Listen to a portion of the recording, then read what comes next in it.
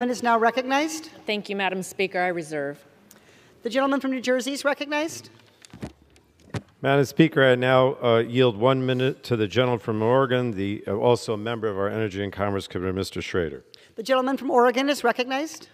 Thank you, Madam Speaker. I rise today in support of the Affordable Insulin Now Act.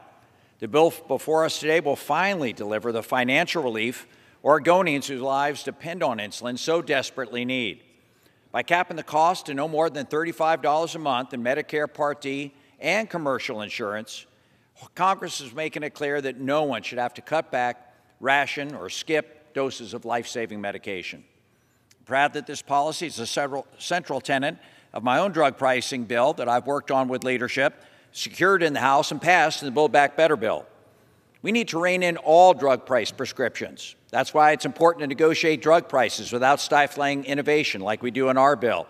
Limit the price increases of everyday drugs to the price of inflation, and perhaps more importantly, limit out of pocket costs of seniors to $2,000 or less. And I yield back.